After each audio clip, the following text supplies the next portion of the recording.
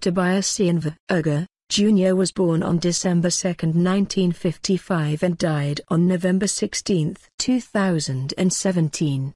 He was a Canadian senator representing the province of Ontario. Inv. Uga was born in the Philippines. He earned a Bachelor of Arts in Economics from Letran College in the Philippines, a Master's Certificate in Project Management from the Schulich School of Business at York University, and a Computer Studies Certificate from Centennial College. At the time of his appointment, he was a project manager at the Bank of Montreal, where he has worked for more than 30 years. He served as a school trustee on the Toronto Catholic District School Board until his appointment to the Senate and was the first Filipino-Canadian elected to public office in the city of Toronto. He was co-chair of the Asian Heritage Month celebration for the Greater Toronto Area and was previously a director of the Canadian Multicultural Council, Asians in Ontario.